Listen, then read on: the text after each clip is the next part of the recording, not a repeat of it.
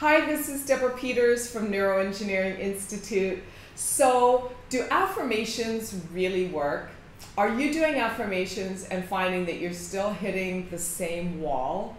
I'm uh, going to unpack that for you in this video. So stay tuned and hang in there with me till the end because I've got some really powerful, life changing tools for you that you can begin to apply immediately.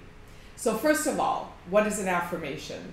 An affirmation is a positive thought that you say to yourself over and over and over.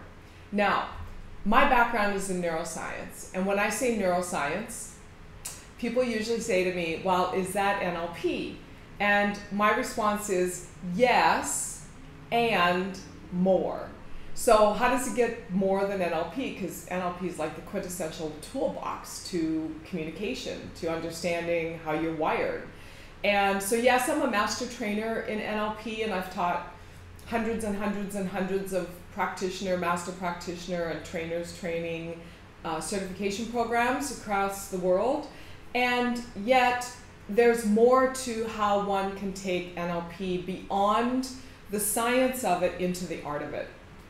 How does that relate to affirmations? Well, in NLP, we hypothesize that all change comes from repetition. So, repetition of how many times? Well, somewhere between three times, seven times, and 21 repetitions, and we create a new pattern.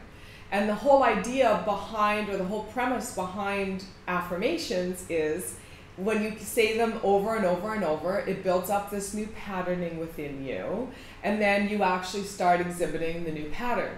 And yes, this has tremendous value, and I can say that from my heart because that's how I began down this path.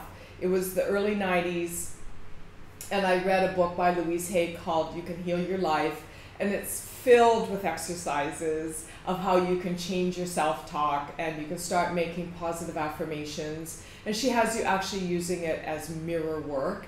So I did that. I mean, I took a deep dive. I'm like, oh my God, this is incredible. I can change my life. I can get rid of all the problems. and yeah, it worked. I mean, I had some really significant breakthroughs.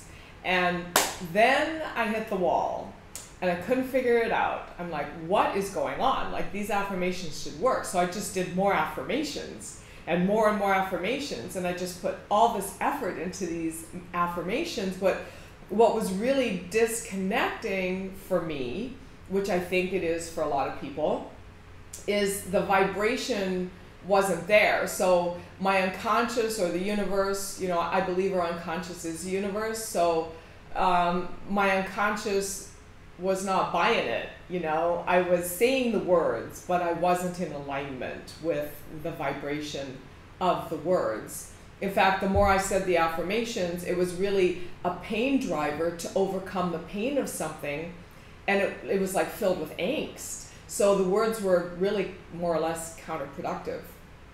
So here's what I, I learned from doing thousands of personal breakthrough sessions with individuals executives, heads of state, company leaders, like some really high profile people and some folks that live their life out of the spotlight. I'm not going to call them regular people because we're all the same, but they just we just do different things with our with our lives, our time, our career. So all kinds of people from all walks of life. And a, a personal breakthrough session averaged somewhere between 27 hours and 36 hours per person. So when when you're rewiring someone's patterning for that many hours, you can't help but look inside. You know, every client I worked with, I got great inspiration, a snapshot of my own stuff, things that I was clearing, a view of what was holding me back. I mean, it was just this incredible process. And I did that for a decade. And I also went through that process with couples.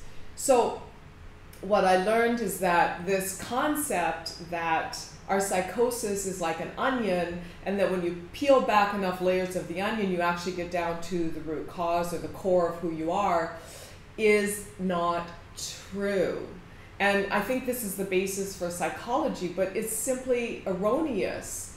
But it was the best theory we had at the time, and now that consciousness has raised in humanity, now we know that you know that's really not accurate. And and so when I'm scaling a company, and I've been doing this for 20 years in 16 countries, when I'm scaling a company, the first thing I bring into the mix within my in my business accelerator system is the mindset.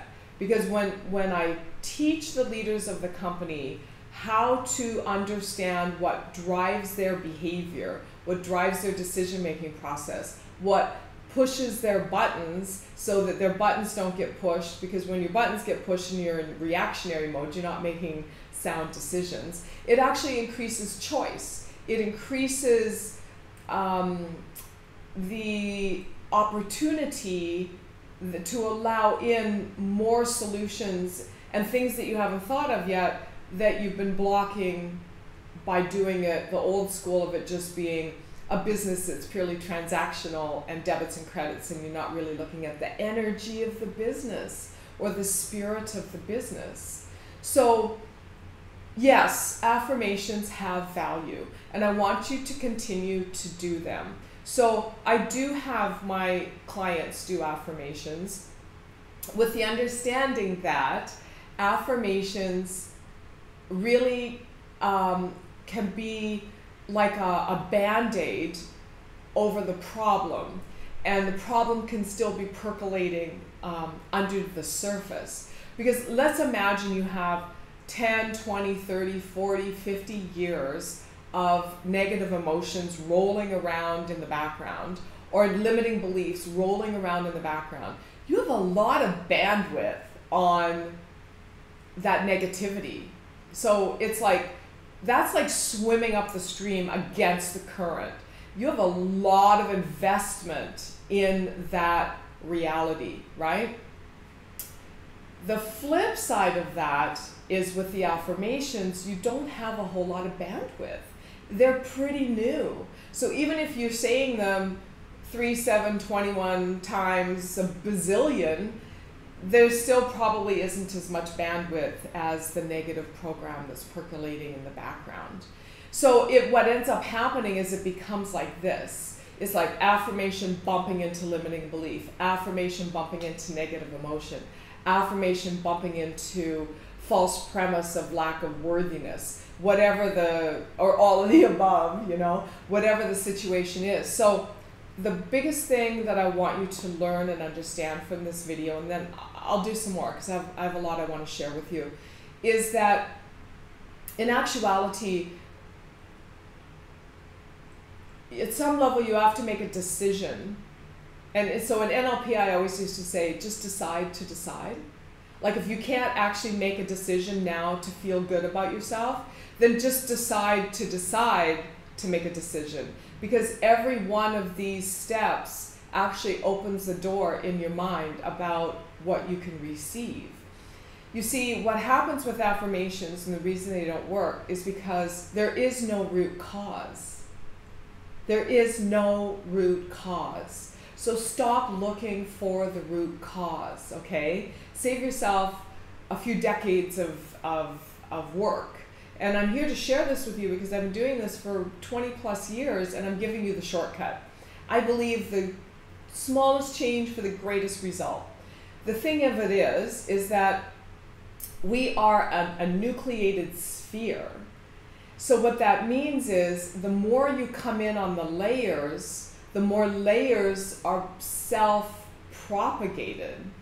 So you're never going to get to the root cause. That's why when you start looking for what's wrong, you will always find more of what's wrong because as you dissolve the what's wrong, it actually propagates more of what's wrong. That's why the war on drugs doesn't work, the war on, on sex trafficking doesn't work, wars on anything don't work. Because what it does is that there's this nucleated sphere that just creates more of the same. So I'm sure you're probably thinking, well, then why don't affirmations, aren't they, why aren't they a nucleated sphere where they create more of the same?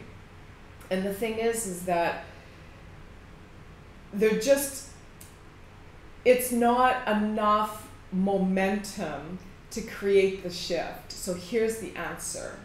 The answer is learning to ask yourself questions that open up the neurotransmitters to free up the space for you to be your greatest self.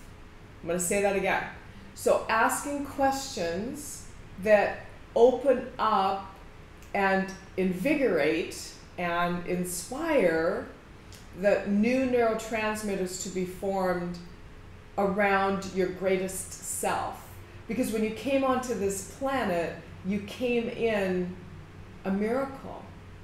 And then you bought into a whole bunch of programming over the years, you know, parents, teachers, coaches, churches, schools, television, music, movies, I mean, it, friends, it just goes on and on and on. So if you're affirming, you're doing this, you're, you're trying to, you're creating conflict. And wherever you create conflict, it just pushes up against itself and it becomes more. So what you do is you ask new questions, right? And it's the quality of the questions that you ask yourself that actually enables you to create the change you want to see in your life. So, what's a great question to ask? My favorite is how does it get better than this? How can it get better than this? And another of my favorite questions is what else is possible? What else is possible? So, even if something bad is happening, you can say, What else is possible? Because then that opens up the bandwidth within your mind because you're resourceful. You have every answer that you need inside of yourself. You just haven't asked yourself the right questions in order to get to the answer. Instead, you've been beating yourself up with what's wrong with me, why did I screw up again? So stop that. Just decide to decide to stop that and decide to decide to start asking yourself new questions. What else is possible and how can it get better than this?